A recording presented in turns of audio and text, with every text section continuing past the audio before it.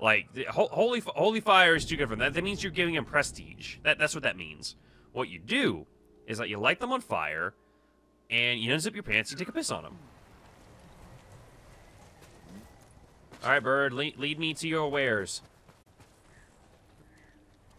What is this bird doing?